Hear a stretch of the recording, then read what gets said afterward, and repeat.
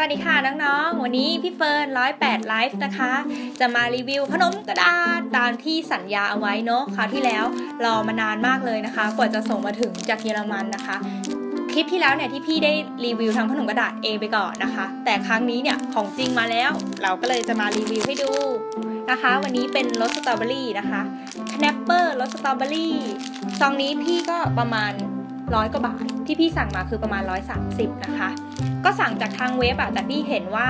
ตามห้างสรรพสินค้าหรือว่าตามร้านที่ขายขนม import เนี่ยก็มีขาย แต่ว่าบางทีมก็หายากนิดนึงนะ ตามพวกร้านขายขนมเนี่ยเขาจะขายที่ 250 นะคะ อันนี้พี่เป็นรสสตรอเบอรี่นะคะ ถ้าถามว่าน้ำหนักเนี่ยคือเบามากเลยอะเบาเหมือนแบบเหมือนถือเวเฟอร์ที่มันเบาๆเลยอะเนาะนี่มาให้ดูนะคะ ดี๋ยวเรามาลองกินกันเลยดูสิว่ารสชาติจะเป็นยังไง เหมือนที่เราเคยทำเองหรือเปล่าน้องๆหลาย ๆ คนนะคะ อาจจะงงว่าเอ๊ะพี่ทำตอนไหนกลับไปลองย้อนดูคลิปนะคะ ที่แบบว่าพี่เคยทำเอาไว้ อันนั้นก็รสสตรอเบอรี่เหมือนกันนี่นี่มาแล้วอุ้ยหอมอะกลิ่นเหมือนแบบ พี่เคยได้กลิ่นอันเนี้ยที่ไหนไม่รู้ มันเป็นกลิ่นสตรอเบอรี่อ่อนๆเหมือนป๊อกกี้รสสตรอเบอรี่นะคะจูบุอะกลิ่นแบบจูบุเลย แล้วคือมันก็บางแบบ บางเหมือนพี่ว่าเหมือนโฟมที่มันแบบบางๆเวลาทำงานประดิษฐ์อะค่ะ มันก็แบบไม่เชิงเหมือนกระดาษมากพี่ว่าเหมือนโฟมนะคะ โฟมที่เราทำงานประดิษฐ์เนาะเราดูค่ะ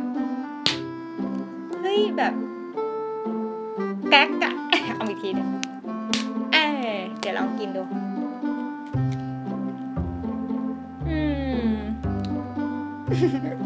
อร่อยเนาะอร่อยนะมันเหมือนแบบ มันเหมือนเวเฟอร์ที่ใส่ติมอะ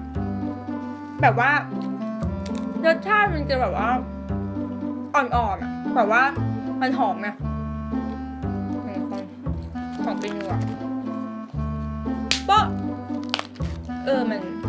คือมันหักดังสะใจดีอะ